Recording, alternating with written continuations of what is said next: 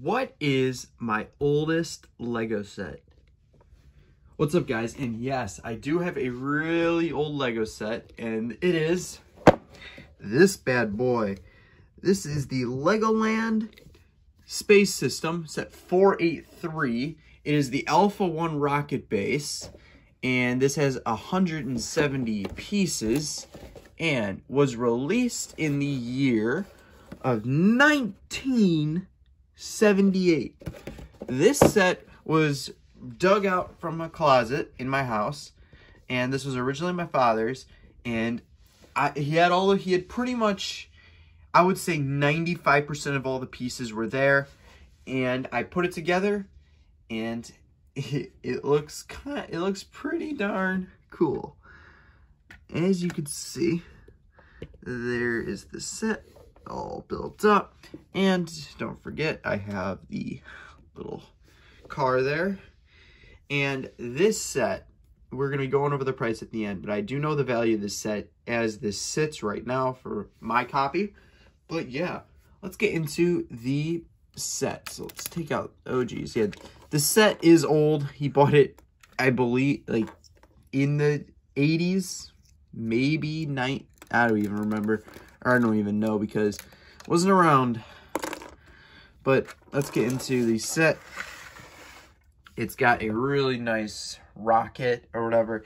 The rocket itself is very loose. My copy is not in the greatest condition, but it does look really cool on display.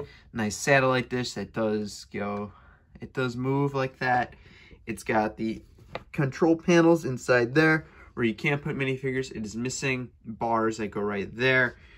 Um, it's got a rail right there. And then the this part that is connecting the rockets does move like that. That's actually in really great shape. That's really cool. And I don't understand the point of this. I'm guessing that's like a satellite. I don't really know. But the set is very basic. Again, this is from 1978. This is where Lego pretty much started. And let's take off this minifigure and the little like tram or whatever. It's got a like car. It's got like a car in the front. It's got the like I don't know canisters in the back. It's got the old style Lego wheels. It's got the steering wheel. It's got a control panel right there, which is basic, like 70s. It's got a rod up there. And then this, these um, are connected inside of here. I don't know why they uh, put it in there, but what are you going to do? 78 and yeah, that's really it. I do like that. And here's the thing with my copy, I didn't even have the instructions. I had to look this up online and build it myself. Now let's get into the minifigures. You get a whole bunch of space people. And how many minifigures? You only get three. So we are going to be reviewing three of them. You get two of the white space guys and then one of the red. But I do have other spacemen to go with it. I don't. They were just in the box, so I had them. You get a blue guy. They're all pretty much the same, except uh, some have different parts because they were missing them, or um, they're just different colors. So we got an extra white guy, a blue one, and then a yellow guy. They are not, as you can see, they do have cracks, but what are you gonna do? Uh, so the red guy has the wrong helmet, but he just has a nice, simple astronaut look to him. He's got the simple astronaut printing on his torso, no leg printing whatsoever. He's got no back printing, uh, as you can see, no back printing. Um, he is very loose.